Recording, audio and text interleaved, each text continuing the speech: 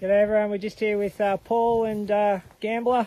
Um, we've just uh, at his uh, little agistment farm across the road from his paddock. Beautiful, uh, beautiful paddocks here.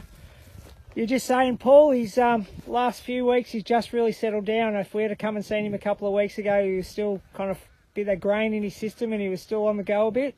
Yeah, look, it's uh, like now the, the grass is strong and they can live off it, so it was a good choice to um, pull him off all the grain and let, let him uh, graze on a bit of natural stuff. And he's really unwound now, so uh, we'll jump back on uh, in the in the next week and um, go for another ride. And I'm tipping he'll be really relaxed and pretty much just just just a good old stock horse. So Yep.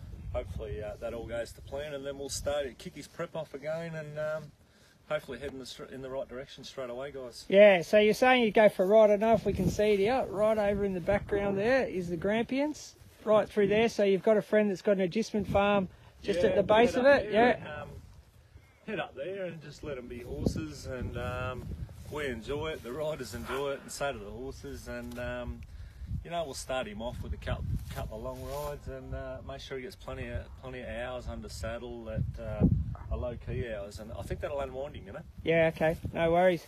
Well, we'll um, we'll keep you updated as we move forward. But um, good to see him. Good to see him in a really uh, really good uh, headspace here. So um, we'll go. You take him for another big ride, and then we'll probably look at you know Kick maybe getting him back in back yeah. into work. So um, he's done well, and he's obviously pretty easy to walk up and handle at the moment, which wouldn't have been this, the case six weeks ago.